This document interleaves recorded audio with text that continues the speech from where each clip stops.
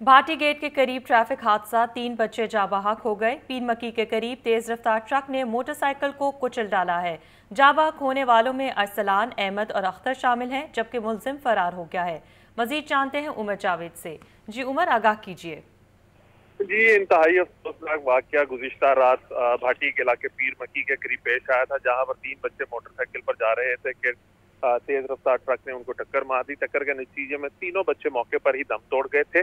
Police ने लाशों को कब्जे में लेकर मुर्दा खाने मुंतकिल कर दिया, जबकि बच्चे अरसलान की वालिद की मुदैयत में ट्रक ड्राइवर के खिलाफ मुकदमा दर्ज कर लिया है। ट्रक को अपने कब्जे में ले लिया है। ट्रक के मालिक को ढूंढा जा रहा है और पुलिस का कहना है कि कानून के मुताबिक कार्रवाई की जाएगी। ठीक है, बहुत शुक्रिया उमर जावेद आपका।